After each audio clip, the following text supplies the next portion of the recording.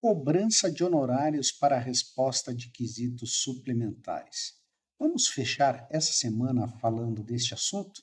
Então me segue aí. Pois bem, aqui quem fala é Pedro Neto. Estou de volta aqui terminando essa semana para falar de um assunto bastante interessante, que hoje rendeu bastante discussão em meu grupo de alunos e colegas peritos que eu tenho no, no WhatsApp. Muito bem, a questão era: é, pode o perito pedir complementação de seus honorários para responder quesitos suplementares, complementares, ou seja, não apenas prestar os esclarecimentos que estão previstos no artigo 477 do CPC. Pois bem, isso é algo que os advogados sempre costumam colocar lá como último questionamento de quando eles apresentam seus quesitos. Ah, Pede-se é, direito para que sejam apresentados quesitos complementares ou suplementares. Bem, gente, não é por aí não é por aí. De repente, você tem que responder, sei lá, 30, 40, 50 quesitos, apresenta o seu laudo e daí apresentam as partes junto ao processo mais 50 quesitos de algo que eles não perguntaram na ocasião original, ou seja, para aquilo que você não orçou quantas horas gastará para cumprir essa etapa do trabalho pericial. Complicado, né, gente? Complicado. É, eu costumo sempre colocar em minhas propostas de honorários que quesitos que não forem referentes a esclarecimentos, seja, de acordo com o artigo 477 do CPC, eles serão submetidos para apreciação do douto juízo, visto que são quesitos novos, não foi cobrado lá atrás. E está sendo pedido resposta de, de novos questionamentos que não foram originalmente orçados. Pois bem, eu vou apresentar aqui para vocês, deixa eu mudar a minha tela aqui. Bem, aqui tem uma petição, tá? Isso até normalmente, em, quando é cumprimento de sentença, na maioria das vezes não, não são apresentados quesitos. E quando são apresentados quesitos, eles têm que ter relação ao cumprimento da sentença. Não pode ser relativos a qualquer questão que já tenha sido apreciada pelo doutor juízo e tenha resultado é, nas decisões que transitarem em julgado. Mas nesse caso aqui, tá, é uma liquidação de sentença. Tá? Eu fui nomeado recentemente, estou aguardando a aprovação dessa proposta. Né? É, aqui eu, eu coloquei que se refere a, a, a um caso em que terá que ser analisada é, terão que ser analisadas 590 decisões proferidas em processos contidos na inicial. É um, um advogado que está cobrando de, de um banco por honorários que não foram recebidos, ou seja, o contrato dele foi rescindido unilateralmente e ele entrou com esse processo. É um processo bastante complicado, tá?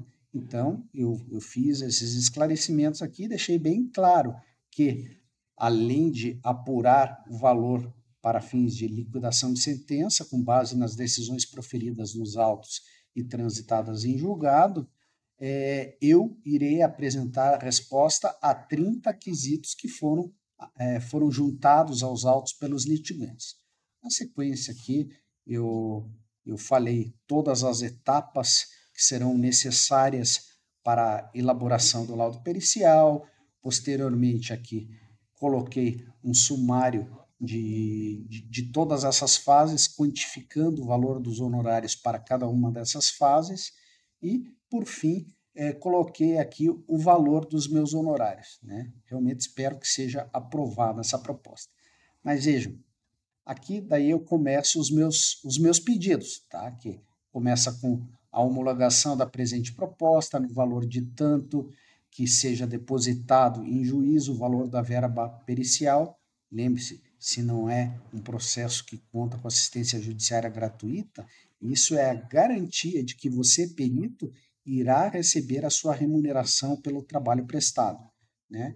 É, aqui eu já antecipo que eu solicitarei o adiantamento de 50% dos honorários, né? e que após ocorrida a comprovação do depósito, eu me comprometo, mediante intimação, a comunicar a data de início dos trabalhos. Isso é um padrão que eu utilizo nas minhas propostas de honorários. Né? É, a minha proposta fica até um pouco mais longa, mas fica tudo muito bem especificado. Tá?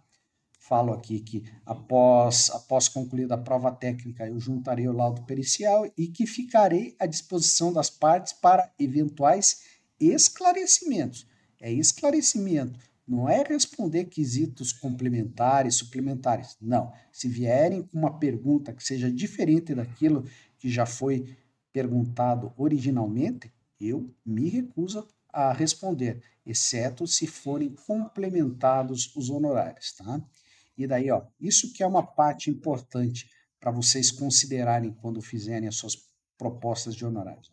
A formulação de quesitos suplementares ou complementares sobre forma de esclarecimentos será submetida à apreciação da autoridade julgadora, bem como tais questionamentos serão passíveis de complementação de honorários, conforme previsto no item 57 da Norma Brasileira de Contabilidade, TP01R1, de 27 de 3 de 2020. Eu sou contador, ou seja, eu coloquei como paradigma essa norma, essa norma legal. Mas vocês podem encontrar algum outro argumento que subsidie o pedido de vocês. Eu acho que é algo bem tranquilo.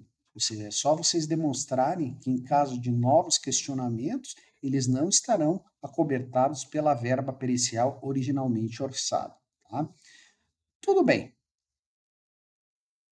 Tendo em vista isso, gente, é, o que, que eu recomendo a vocês? Tá?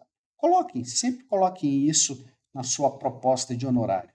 Tá? para garantir que não venham depois, como um caso que mencionaram aqui é, no, no meu grupo, com, sei lá, dezenas, centenas de quesitos que, na verdade, não, não tinham nada a ver com os questionamentos que foram feitos é, quando da solicitação de apresentação de quesitos. Muito bem, ficamos por aqui. O vídeo de hoje é rapidinho. Peço para vocês que, caso ainda não estejam me seguindo no Instagram, TikTok ou YouTube, não esqueçam de, de me seguir. Eu também peço a vocês que não esqueçam de curtir aqui o vídeo, de inscrever-se no canal e acionar o sininho para receberem notificação sempre que um novo vídeo for postado aqui no meu canal. Ok, gente? Hoje eu fico por aqui. Um grande abraço para vocês, um bom fim de semana. Nos vemos no próximo vídeo.